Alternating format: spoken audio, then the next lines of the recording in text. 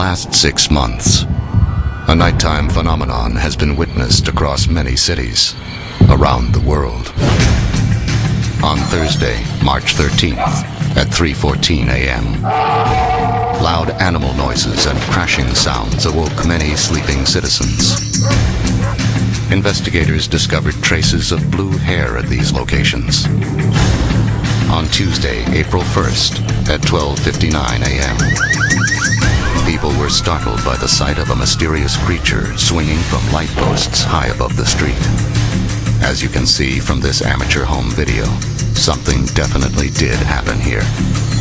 And on Friday, May 2nd, at 2.09 a.m., in this alley, an abandoned video camera was discovered. The footage was left in the camera, and as you will see, there really is an unidentified creature haunting our cities at night. Sonic Unleashed. When the sun goes down, a new adventure begins.